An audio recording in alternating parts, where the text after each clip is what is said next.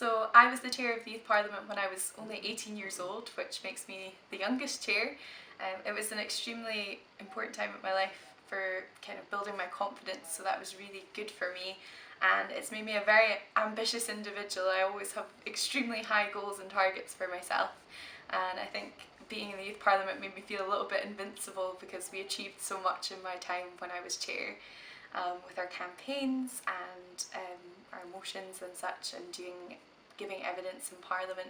So since then it's been great for my confidence. I have I'll happily go for coffees with politicians now or speak to huge audiences so none of that fazes me anymore.